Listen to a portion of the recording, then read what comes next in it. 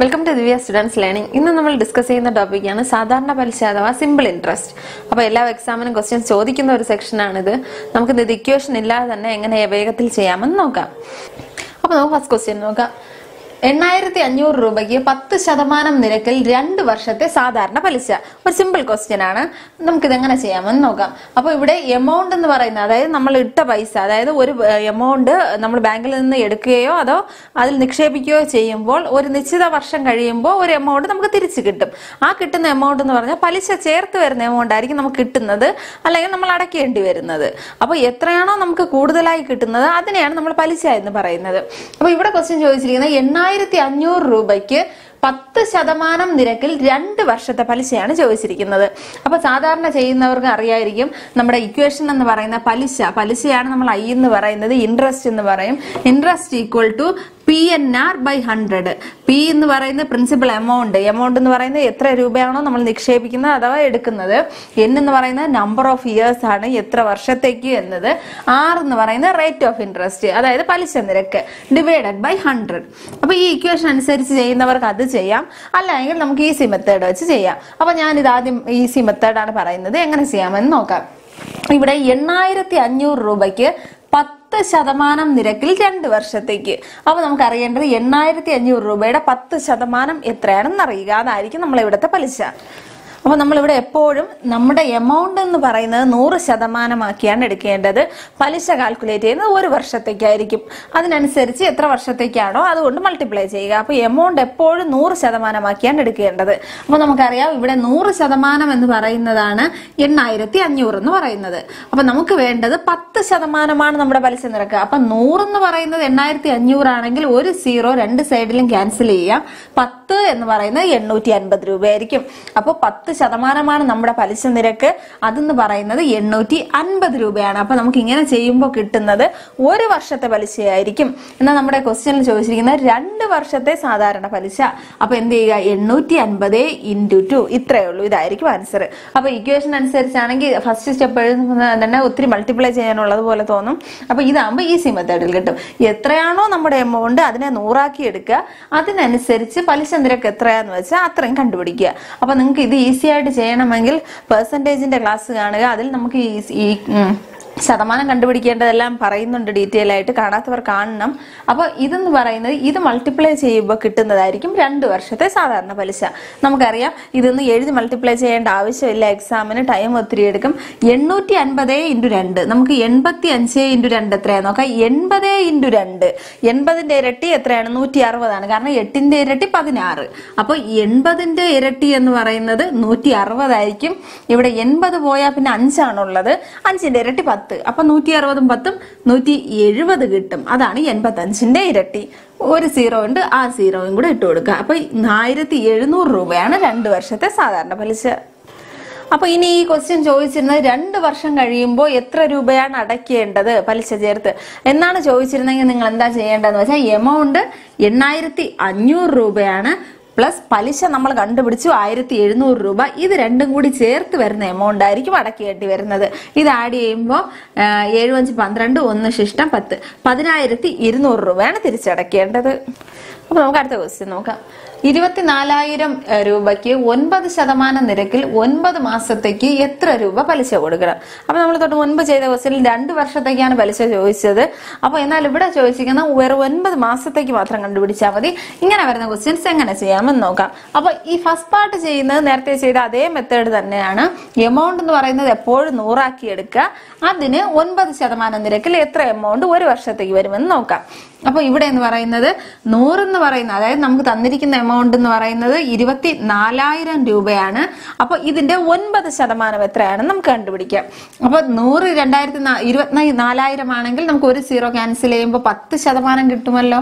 ഇവിടെ പത്ത് ശതമാനം എന്ന് പറയുന്നത് രണ്ടായിരത്തി നാനൂറാണ് അങ്ങനെയാണെങ്കിൽ ഒരു ശതമാനം എത്രയായിരിക്കും? ഒരു സീറോ കൂടി ക്യാൻസൽ ചെയ്യുമ്പോഴാണ് ഒരു ശതമാനം കിട്ടുന്നത്. അപ്പൊ ഇവിടെയും ഒരു സീറോ ക്യാൻസൽ ചെയ്യുക ഇരുന്നൂറ്റി നാൽപ്പത് കിട്ടും. എന്നാൽ നമുക്ക് വേണ്ടത് ഒൻപത് ശതമാനമാണ്. അപ്പോൾ പത്തിൽ നിന്ന് ഒന്ന് കുറയ്ക്കുമ്പോഴാണ് ഒൻപത് ശതമാനം വരുന്നത്. അങ്ങനെയാണെങ്കിൽ ഒൻപത് എന്ന് പറയുന്നത് സീറോ പത്തിൽ നിന്ന് നാല് കുറയ്ക്കുമ്പോൾ ആറ് കിട്ടും മൂന്നിൽ നിന്ന് രണ്ട് കുറയ്ക്കുമ്പോൾ ഒന്ന് കിട്ടും രണ്ട്. രണ്ടായിരത്തി ഒരുന്നൂറ്റി അറുപത് രൂപയാണ് നമ്മുടെ ഒരു വർഷത്തെ പലിശ എന്ന് പറയുന്നത്. എന്നാൽ നമുക്ക് ഇവിടെ കണ്ടുപിടിക്കേണ്ടത് വെറും ഒൻപത് മാസത്തെ പലിശയാണ്. അപ്പോൾ ഇവിടെ നയൻ ബൈ ട്വൽവ് കൊണ്ട് മൾട്ടിപ്ലൈ ചെയ്യുക. അതായത് ഒരു വർഷത്തിൽ പന്ത്രണ്ട് മാസമാണുള്ളത്. അതിൽ ഒൻപത് മാസത്തേത് മാത്രം മതി നമുക്ക് പലിശ. അപ്പോൾ മൂന്ന് മാസത്തേക്കാണ് ചോദിക്കുന്നതെങ്കിൽ മൂന്ന് ബൈ പന്ത്രണ്ട് ചെയ്യുക. ആറ് മാസത്തേക്കാണെങ്കിൽ ആറ് ബൈ പന്ത്രണ്ട്. ഇവിടെ നമുക്ക് നോക്കാം. ഇവിടെ നമുക്ക് മൂന്ന് കൊണ്ട് മൾട്ടിപ്ലൈ ചെയ് ക്യാൻസൽ ചെയ്യാൻ പറ്റും. മൂന്ന് മൂന്നാണ് ഒൻപത്. നാല് മൂന്ന് പന്ത്രണ്ട്. ഇനി നമുക്ക് ഈ നാല് കൊണ്ട് ഇവിടെ ക്യാൻസൽ ചെയ്യാം. ഇരുപതിൽ അഞ്ച് തവണ അഞ്ച് നാല് ഇരുപത് ഒന്ന് ശിഷ്ടം പതിനാറിൽ നാല് തവണ നാല് നാല് പതിനാറ് ഒരു സീറോ. അഞ്ഞൂറ്റി നാൽപ്പത് ഇന്റു മൂന്നായിരിക്കും ആൻസർ ഇവിടെ നാല് മൂന്ന് പന്ത്രണ്ട് ഒന്ന് ശിഷ്ടം അഞ്ച് മൂന്ന് പതിനഞ്ച് ഒന്ന് പതിനാറ് ഈ ഒരു സീറോ. അപ്പം ആയിരത്തി അറുന്നൂറ്റി ഇരുപത് രൂപയാണ് പലിശയായി കൊടുക്കേണ്ടത്. നമുക്ക് അടുത്ത ക്വസ്റ്റ്യൻ നോക്കാം. ആറായിരത്തി അഞ്ഞൂറ് രൂപയ്ക്ക് അഞ്ച് ശതമാനം സാധാരണ പലിശ നിരക്കിൽ എഴുപത്തി മൂന്ന് ദിവസത്തെ പലിശ എത്ര? അപ്പൊ തൊട്ട് മുമ്പ് ചെയ്ത ക്വസ്റ്റ്യനിൽ ഒൻപത് മാസത്തെയാണ് ചോദിച്ചത്. എന്നാൽ ഇവിടെ ചോദിച്ചിരിക്കുന്നത് ദിവസത്തെ പലിശയാണ് ചോദിച്ചിരിക്കുന്നത്. അതെങ്ങനെ ചെയ്യാമെന്ന് നോക്കാം. ഇവിടെയും ആദ്യത്തെ സെക്ഷൻ സെയിം തന്നെയാണ്. അതായത് ആറായിരത്തി അഞ്ഞൂറ് രൂപയുടെ അഞ്ച് ശതമാനം എത്രയാണെന്ന് കണ്ടുപിടിക്കുക. അതായിരിക്കും നമ്മുടെ ഒരു വർഷത്തെ പലിശ എന്ന് പറയുന്നത്. അപ്പോൾ ഇവിടെ നമുക്ക് നോക്കാം. നമ്മൾ പറഞ്ഞു ആറായിരത്തി അഞ്ഞൂറ് എന്ന് പറയുന്നത് എപ്പോഴും നൂറാണ്. അങ്ങനെയാണെങ്കിൽ ഒരു സീറോ ക്യാൻസൽ ചെയ്യുമ്പോൾ കിട്ടുന്നതായിരിക്കും പത്ത്. പത്ത് എന്ന് പറയുന്നത് അറുന്നൂറ്റി അൻപത് എല്ലാ സ്റ്റെപ്പും ഞാൻ എഴുതുന്നില്ല. കാരണം സമയം നമുക്ക് എക്സാമിന് ഈ രീതിയിൽ ചെയ്തു പോയാൽ മതി. പത്ത് എന്ന് പറയുന്നത് അറുന്നൂറ്റി അൻപത് അങ്ങനെയാണെങ്കിൽ അഞ്ചാണ് നമുക്ക് വേണ്ടത്. അഞ്ചെന്ന് പറയുന്നത് ഇതിന്റെ പകുതി. ആറിന്റെ പകുതി മൂന്ന്. അഞ്ചിന്റെ പകുതി നമുക്ക് രണ്ട് കൊണ്ട് ഡിവൈഡ് ചെയ്യുമ്പോൾ രണ്ട് തവണ കിട്ടും. ഒരു സീറോ ഇവിടെ വരും പത്തിന്റെ പകുതി അഞ്ച്.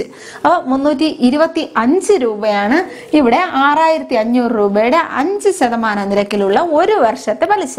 എന്നാൽ നമുക്കിവിടെ ഒരു വർഷത്തെ വേണ്ട. വെറും എഴുപത്തി മൂന്ന് ദിവസത്തെ പലിശ മാത്രം മതി. അപ്പോൾ ഇങ്ങനെ ദിവസമാണ് ചോദിക്കുന്നതെങ്കിൽ ഇന്റു എഴുപത്തി മൂന്ന് ഡിവൈഡഡ് ബൈ ഒരു വർഷത്തിൽ എത്ര ദിവസമാണുള്ളത്? മുന്നൂറ്റി അറുപത്തി അഞ്ച് ദിവസമാണുള്ളത്. അപ്പോൾ ഇന്റു എഴുപത്തി മൂന്ന് ഡിവൈഡഡ് ബൈ മുന്നൂറ്റി അറുപത്തി അഞ്ച് ചെയ്യുക. മാസമാണെങ്കിൽ ഞാൻ പറഞ്ഞു എത്രയാണോ ചോദിക്കുന്നത്? ഡിവൈഡഡ് ബൈ പന്ത്രണ്ട്. ദിവസമാണെങ്കിൽ എത്ര ദിവസമാണോ അവർ ചോദിക്കുന്നത്? ഡിവൈഡഡ് ബൈ മുന്നൂറ്റി അറുപത്തി അഞ്ച് നമുക്കിവിടെ അഞ്ചിന്റെ മൾട്ടിപ്പിൾ ആണ്. അഞ്ച് കൊണ്ട് ക്യാൻസൽ ചെയ്യാം. ആറഞ്ച് മുപ്പതാണ് രണ്ട് ശിഷ്ടം വരും അഞ്ചഞ്ച് ഇരുപത്തിയഞ്ച്. ഇവിടെ അഞ്ച് കൊണ്ട് ക്യാൻസൽ ചെയ്യുമ്പോൾ ഏഴഞ്ച് മുപ്പത്തി അഞ്ച് കിട്ടും ഒന്ന് ശിഷ്ടം പതിനഞ്ചിന്റെ അകത്ത് മൂന്ന് തവണ. ഇനി ഇവിടെ എഴുപത്തി മൂന്ന് എഴുപത്തി മൂന്ന് ക്യാൻസൽ ആയിപ്പോൾ അറുപത്തി അഞ്ചായിരിക്കും ഇവിടുത്തെ പലിശ എന്ന് പറയുന്നത്. നമുക്കിനി അടുത്ത ടൈപ്പ് ക്വസ്റ്റ്യൻ നോക്കാം. ആറ് ശതമാനം സാധാരണ പലിശ നിരക്കിൽ ഒരു വർഷം മുന്നൂറ് രൂപ പലിശ ലഭിക്കുന്നുവെങ്കിൽ ഒരാൾ ബാങ്കിൽ എത്ര രൂപ നിക്ഷേപിക്കണം? അപ്പൊ നമ്മൾ തൊട്ട് മുമ്പ് ചെയ്ത ക്വസ്റ്റ്യനിൽ പലിശയാണ് കണ്ടുപിടിക്കേണ്ടത്. ഇവിടെ പലിശ തന്നിട്ടുണ്ട്. ആറ് ശതമാനമാണ് പലിശ നിരക്ക് ഒരു വർഷത്തേക്ക് കിട്ടിയത് മുന്നൂറ് രൂപയാണ് കിട്ടിയത്. അപ്പോൾ ആറ് ശതമാനം നിരക്കിൽ കിട്ടിയ എമൗണ്ട് എന്ന് പറയുന്നത് പലിശ എന്ന് പറയുന്നത് മുന്നൂറ് രൂപ. അങ്ങനെയാണെങ്കിൽ എത്ര രൂപ നിക്ഷേപിക്കണം? അതായത് നമ്മുടെ അടുത്ത് എമൗണ്ട് ആണ് ചോദിക്കുന്നത്. ഇക്വേഷൻ അനുസരിച്ച് ചെയ്യുന്നവരാണെങ്കിൽ ഐ ഈക്വൽ ടു നമ്മൾ പറഞ്ഞു P N R by hundred ആണ് നമ്മുടെ ഇക്വേഷൻ ഇതിൽ നിന്ന് ഈ ക്വസ്റ്റ്യനിൽ ചോദിക്കുന്നത് എന്ന് പറയുന്നത് എത്ര രൂപ നിക്ഷേപിക്കണം? നമ്മുടെ പ്രിൻസിപ്പൽ എമൗണ്ട് ആയ പി ആണ് ചോദിക്കുന്നത്. അപ്പൊ പി കണ്ടുപിടിക്കണമെങ്കിൽ പി മാത്രം ഈ സൈഡിലിട്ട് ബാക്കി ഇപ്പുറത്തെ സൈഡിൽ കൊണ്ടുപോകുക അപ്പൊ ഐ ഡിമോ ഡിനോമിനേറ്ററിൽ കിടക്കുന്ന നൂറ് ഇവിടെ വരുമ്പോൾ ന്യൂമറേറ്ററിലാകും I into hundred divided by ഇവിടെ ന്യൂമറേറ്ററിലാണ് എന്നും ആറും കിടക്കുന്നത്. അത് താഴെ വരും. എൻ ആർ എന്ന് വരും. അതായത് ഇൻട്രസ്റ്റ് എത്രയാണോ തന്നിരിക്കുന്നത്? മുന്നൂറ് into hundred divided by N into R ഇവിടെ വർഷം എന്ന് പറയുന്നത് ഒരു വർഷമാണ്. ഒന്ന് ഇന്റു റേറ്റ് എന്ന് പറയുന്നത് ആറ് ശതമാനം. അപ്പോൾ ഇക്വേഷൻ വരച്ച് ചെയ്യുന്നവർക്ക് ഇങ്ങനെ ചെയ്യാം. ഇല്ല നമുക്ക് ഈസി മെത്തേഡിലാണ് എങ്ങനെ ചെയ്യാമെന്ന് നോക്കാം. ഇവിടെ ഒരു വർഷത്തെ പലിശ നിരക്ക് അതായത് ആറ് ശതമാനത്തിൽ കിട്ടിയ എമൗണ്ട് ആണ് മുന്നൂറ്. അപ്പോൾ ഞാൻ പറഞ്ഞു എപ്പോഴും നമ്മുടെ എമൗണ്ട് എന്ന് പറയുന്നത് നൂറായിട്ടാണ് എടുക്കേണ്ടത്. അപ്പോൾ ഇവിടെ ആറ് ശതമാനം മുന്നൂറാണെങ്കിൽ നൂറ് എത്ര എന്ന് കണ്ടുപിടിച്ചാൽ മാത്രം മതി. നമുക്കറിയാം. ആറ് എന്ന് പറയുന്ന മുന്നൂറാണെങ്കിൽ ഒന്ന് എത്രയായിരിക്കും? ആറിനെ ആറ് കൊണ്ട് ഡിവൈഡ് ചെയ്താൽ ഒന്നാകുമല്ലോ. അപ്പൊ അങ്ങനെയാണെങ്കിൽ ഈ സൈഡിലും ആറ് കൊണ്ട് ഡിവൈഡ് ചെയ്യുക. നമുക്കറിയാം മുപ്പതിനെ ആറ് കൊണ്ട് ഡിവൈഡ് ചെയ്യുമ്പോൾ അഞ്ച് കിട്ടും. ഒരു സീറോ കൂടി വരും. അപ്പൊ ഒന്നെന്ന് പറയുന്നത് അൻപതാണ്. അങ്ങനെയാണെങ്കിൽ നൂറ് കിട്ടാൻ രണ്ട് സീറോ കൂടി ഇട്ടാൽ മതിയാകും. അയ്യായിരം രൂപയായിരിക്കും നമ്മുടെ എമൗണ്ട് എന്ന് പറയുന്നത്. അപ്പൊ ഇത് സിമ്പിൾ ആയിട്ട് കിട്ടും. കൂടുതൽ മൾട്ടിപ്ലിക്കേഷന്റെ ഒന്നും ആവശ്യമില്ല. ഇത് ഈസി ആയിട്ട് ചെയ്യണമെങ്കിൽ പെർസെന്റേജിന്റെ ക്ലാസ്സുകൾ കാണും അതിലുള്ള ക്വസ്റ്റ്യൻസ് കുറച്ച് കൂടുതൽ ചെയ്യുക. അപ്പൊ ഇതെല്ലാം ഈസി ആയിട്ട് കിട്ടും. നമുക്ക് അടുത്ത ക്വസ്റ്റ്യൻ നോക്കാം.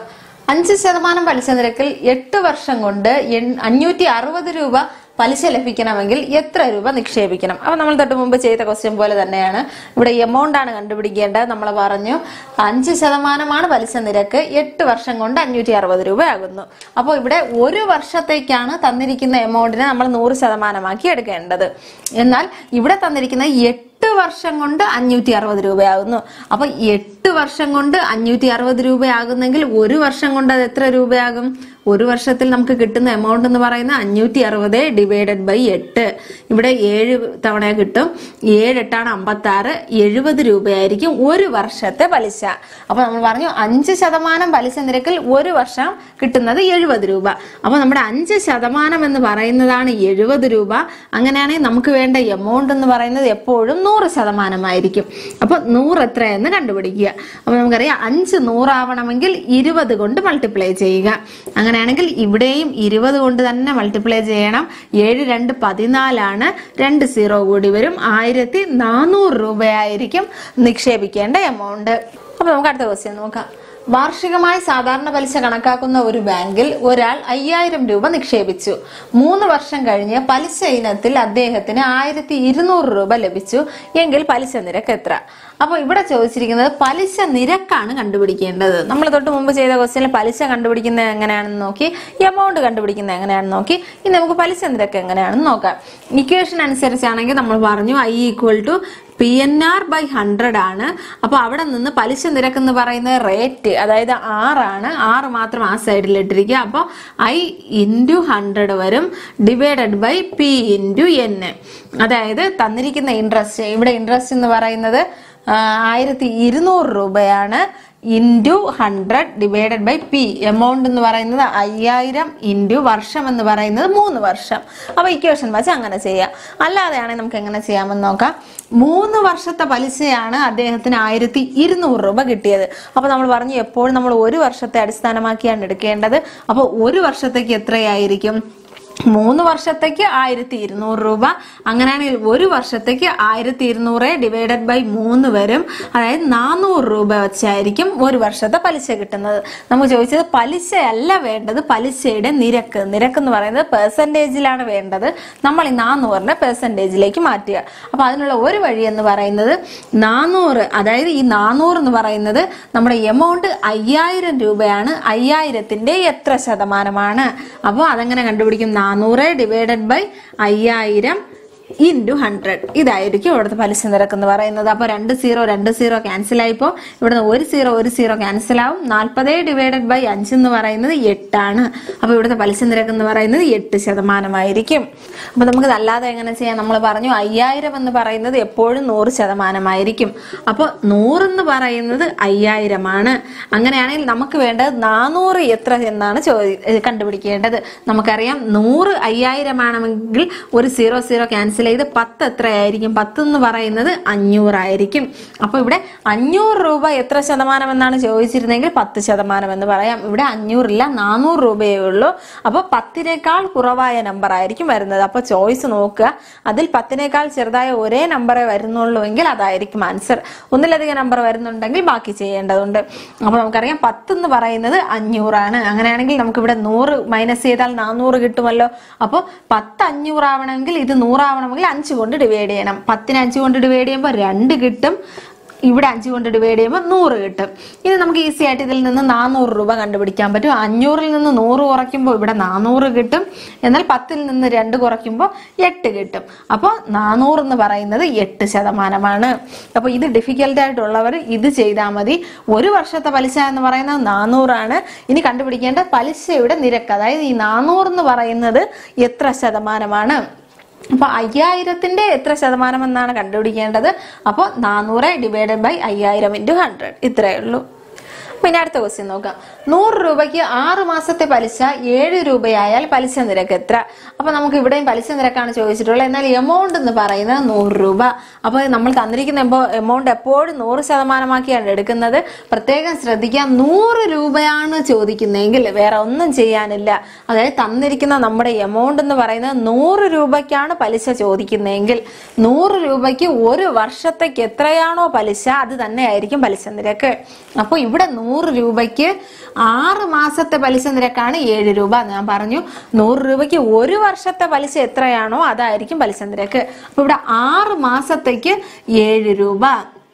അങ്ങനെയാണെങ്കിൽ ഒരു വർഷത്തേക്ക് എത്ര രൂപയായിരിക്കും? ഒരു വർഷത്തേക്ക് എന്ന് പറയുമ്പോൾ ഇതിന്റെ ഇരട്ടി. കാരണം ആറ് മാസത്തേക്ക് ഏഴ് രൂപയാണെങ്കിൽ ഒരു വർഷത്തേക്ക് പതിനാല് രൂപയായിരിക്കും പലിശ. അങ്ങനെയാണെങ്കിൽ പലിശ നിരക്ക് എത്രയായിരിക്കും? പതിനാല് ശതമാനമായിരിക്കും. അപ്പൊ ഇതായിരിക്കും ഇതിന്റെ ആൻസർ. ഇനി ഇവിടെ ചോദിക്കുന്നത് ഇവിടെ ആറ് മാസത്തെ പലിശയാണ് തന്നിരിക്കുന്നത്. രണ്ട് മാസത്തെ പലിശ എന്ന് പറയുന്നത് ഒരു മൂന്ന് രൂപയാണെന്ന് വയ്ക്കുക. അങ്ങനെയാണ് ക്വസ്റ്റ്യൻ ചോദിക്കുന്നതെങ്കിൽ നിങ്ങൾ എങ്ങനെയാ ചെയ്യേണ്ടത്? നൂറ് രൂപയ്ക്ക് രണ്ട് മാസത്തേക്ക് മൂന്ന് രൂപ. അങ്ങനെയാണെങ്കിൽ നമുക്ക് വേണ്ടത് ഒരു വർഷത്തേക്കാണ്. ഈ രണ്ട് മാസം എന്നുള്ളത് ഒരു വർഷമാവാൻ നമുക്കറിയാം. ഒരു വർഷത്തിൽ പന്ത്രണ്ട് മാസമുണ്ട്. അപ്പൊ ആറ് കൊണ്ട് ഇന്ത്യ ചെയ്യുക. രണ്ട് മാസത്തേക്ക് മൂന്ന് രൂപയാണെങ്കിൽ ഒരു വർഷത്തേക്ക് എത്ര രൂപയായിരിക്കും? പതിനെട്ട് രൂപയായിരിക്കും. അപ്പോൾ ഇവിടെ പലിശ നിരക്ക് എന്ന് പറയുന്നത് പതിനെട്ട് ശതമാനമായിരിക്കും. അപ്പോൾ ഇങ്ങനെ ചെയ്താൽ മതിയാവും അപ്പൊ ഇന്ന് പറഞ്ഞ ക്വസ്റ്റ്യൻസ് എല്ലാവരും ചെയ്ത് നോക്കണം. ഇനി വരുന്ന ക്വസ്റ്റ്യൻസ് എല്ലാം നമുക്ക് വരുന്ന ക്ലാസ്സുകളിൽ ഡിസ്കസ് ചെയ്യാം. അപ്പൊ എല്ലാവരും ചാനൽ സബ്സ്ക്രൈബ് ചെയ്യണം. ബെൽ ബട്ടൺ കൂടി എനേബിൾ ചെയ്താൽ മാത്രമേ ഞാൻ ഇനി വീഡിയോസ് ഇടുമ്പോൾ നിങ്ങൾക്ക് നോട്ടിഫിക്കേഷൻ ലഭിക്കുകയുള്ളൂ.